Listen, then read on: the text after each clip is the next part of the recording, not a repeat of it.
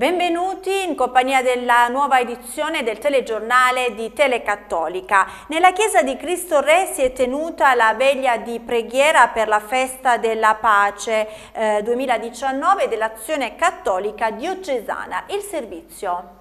La festa della pace promossa dall'azione cattolica della diocesi Lucera Troia che si celebra a gennaio è cominciata sabato sera con la veglia di preghiera Pace a questa casa che si è tenuta presso la parrocchia Cristo Re di Lucera dove tutti i gruppi di azione cattolica si sono ritrovati per riunirsi in preghiera e invocare la pace.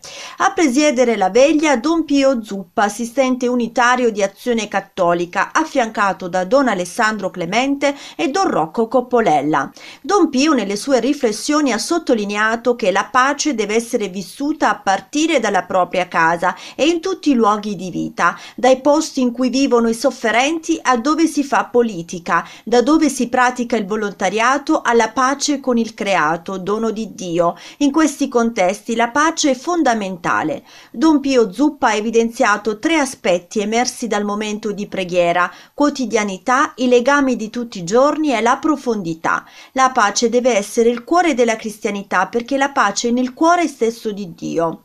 L'impegno dei cristiani e dell'azione cattolica è portare e praticare la pace nella vita di tutti i giorni, ha concluso Don Pio Zuppa.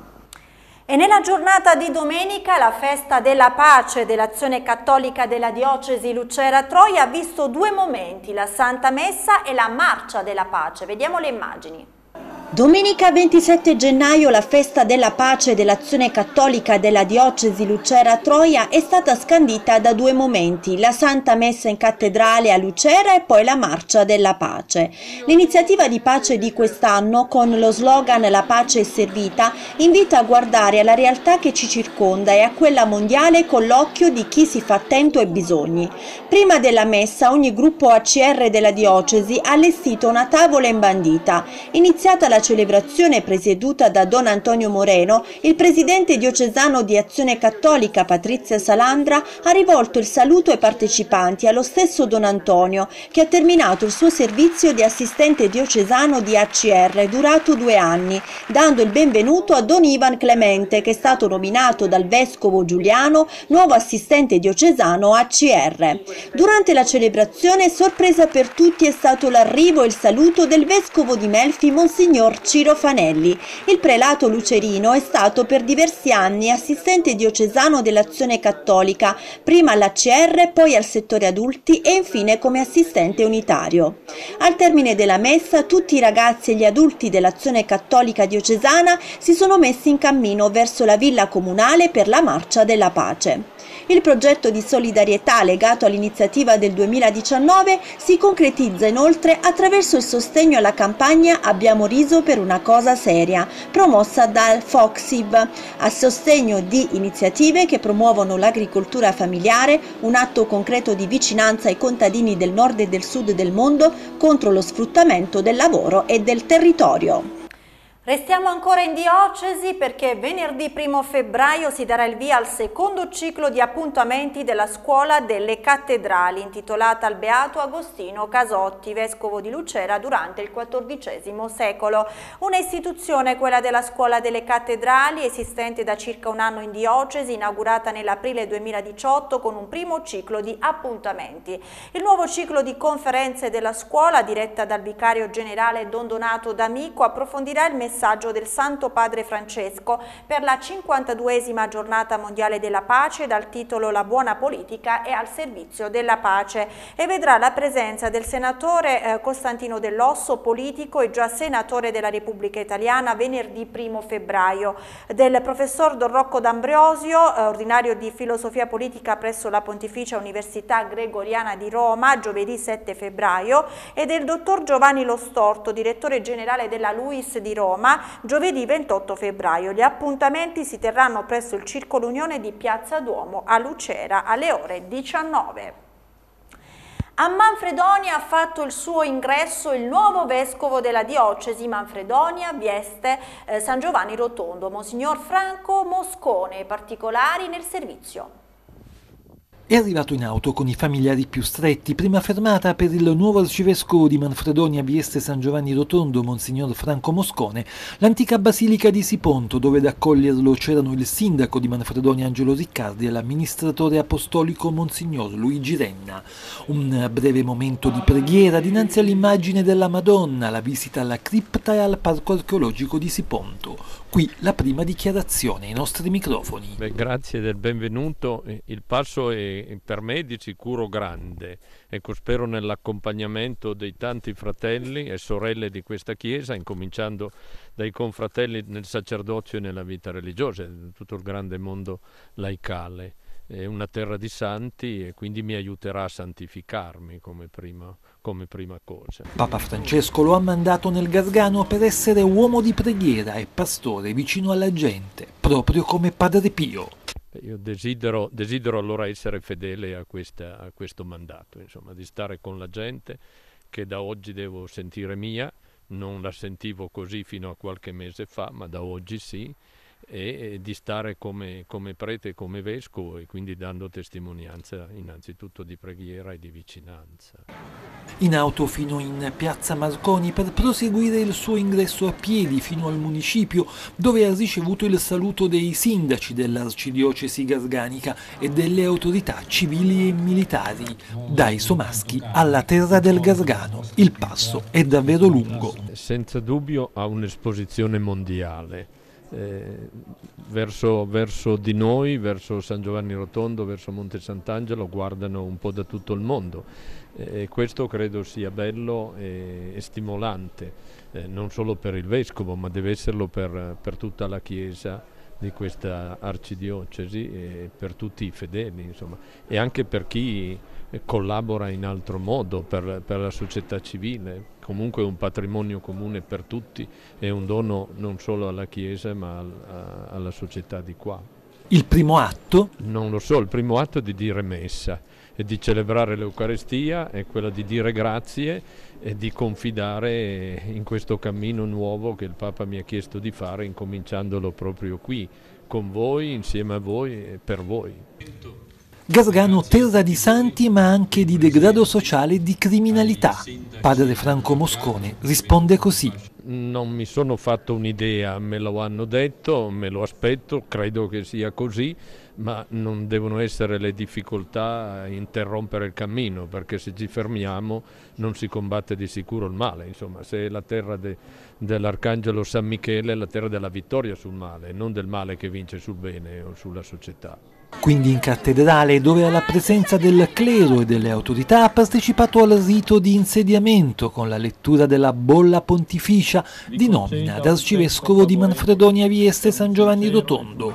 Infine, la celebrazione liturgica in piazza dove nonostante il freddo pungente c'era tantissima gente. Inizia il ministero pastorale di Monsignor Moscone, o come preferisce lui, di Padre Franco Moscone che mi si continui a chiamare come ero abituato e quindi chiedo che continuino a chiamarmi padre sapendo che è già una parola difficile e che già Gesù dice di non usarla troppo, insomma immaginarsi le altre. Insomma. Voltiamo pagina, messo a punto dal Dipartimento Nefrourologico dell'azienda ospedaliero universitaria Ospedali Riuniti di Foggia è stato sviluppato il primo calcolatore italiano online in grado di stabilire il rischio relativamente ad un paziente maschio e adulto di contrarre il carcinoma della prostata. Il calcolatore sviluppato dall'Università di Foggia e dall'azienda ospedaliero universitaria Ospedali Riuniti di Foggia, se venisse ufficialmente riconosciuto, affiancherebbe gli altri due calcolatori online comunemente utilizzati dall'Università del Texas e dall'Università di Rotterdam, Olanda. La novità del calcolatore foggiano è rappresentata dall'introduzione tra i parametri di calcolo del residuo post-minzione, comunemente misurato durante la visita urologica. A eh, presentare il dispositivo il professor Luigi Cormio e il professor Luigi Carrieri del Dipartimento di Scienze Mediche e Chirurgiche dell'Università di Foggia. La compagnia teatrale Enarché di Foggia ha presentato uno spettacolo sul ritrovamento del Sacro Tavolo della Madonna dei Sette Veli che ha riscosso notevole successo in numerose date eh, del mese di gennaio. Vediamo le immagini. La compagnia teatrale Enarché, in sette date nel mese di gennaio, ha portato in scena con successo al Teatro Reggio di Capitanata Nu Quadra Antique per la diciottesima stagione teatrale. Lo spettacolo in dialetto foggiano in due atti ha testo e regia curati da Fabrizio Enrico. Il cast di attori è composto dallo stesso Fabrizio Enrico, Giovanni Mancini, Michele Norillo, Maristella Mazza, Simona Ianigro, Roberta Mancini, Consiglia Albanese, Giovanni Rosi Rosiello. L'opera è la rappresentazione storiografica di Foggia attraverso il ritrovamento del sacro tavolo della Madonna dei Sette Veli, che ha dato origine all'identità religiosa e culturale foggiana. Momenti esilaranti ma anche dal senso profondamente religioso caratterizzano il racconto, che diverte nello stesso tempo affascina con la danza e il canto, riportando alla luce la storia e le radici del popolo foggiano che rimandano alla devozione alla Madonna dei Sette Veli. Ogni anno il 27 gennaio ricorre il giorno della memoria per ricordare le vittime della Shoah. Poiché quest'anno la data è caduta di domenica per poter coinvolgere anche gli studenti, il Comune di Foggia, assessorato alla pubblica istruzione, ha posticipato la celebrazione a martedì 29 gennaio presso il Teatro Umberto Giordano a partire dalle 10.30 con un evento intitolato Nonostante tutto, performance attoriale e musicale dedicata alle scuole medie di Foggia e curata dalla compagnia Luce in Scena di Foggia. Sul palco gli attori Stefania Benincaso, Emanuele Pacca, la pianista Simona Aprile e la violinista Francesca Scarano. Seguiranno le relazioni eh, storiche e giuridiche di docenti dell'Università di Foggia, in particolare il professor Stefano Picciaredda e del professor eh, Giampaolo Maria Ruotolo. Arriviamo al calcio, lo Sport Lucera passa anche a Bari, contro l'ideale Bari ha vinto 2 a 1 portandosi a 23 punti in classifica. Vediamo il servizio. Lo Sport Lucera colleziona un'altra vittoria per la diciottesima giornata di campionato di prima categoria Girone A. Lo fa in un campo difficile come quello di Bari Palese contro l'ideale Bari superato 2 a 1. Il primo gol è di marca biancoceleste grazie a Pipoli che all'undicesimo minuto porta il risultato sull'1 a 0. L'ideale Bari reagisce su punizione e trova la rete del pareggio al 32esimo del preciso Papeo.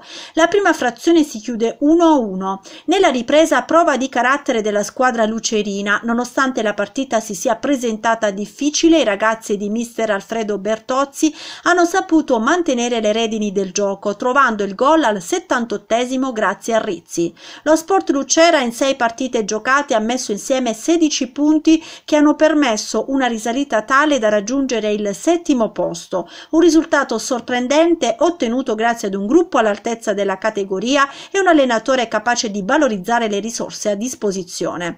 La tifoseria applaude augurandosi che questa scia positiva prosegua. Chiudiamo con un appuntamento che riguarda sempre il giorno della memoria. L'amministrazione comunale di Foggio attraverso l'assessorato alla pubblica istruzione ha organizzato al Teatro Giordano lo spettacolo intitolato Memento, un racconto animato scritto e interpretato da Daniela Delia eh, per raccontare alle bambine e ai bambini delle scuole primarie del capoluogo cosa fu la Shoah. Protagonista della novella la dottora Fantasia, il personaggio a cui i bambini sono molto affezionati dopo le rappresentazioni già andate in scena lo scorso anno. La eh, dottora Fantasia racconterà le origini della guerra e la storia d'Italia di quel periodo con brevi cenni sull'attualità. Bene, con questo è tutto, vi ringraziamo per averci seguito, vi lasciamo al meteo. Arrivederci alla prossima edizione.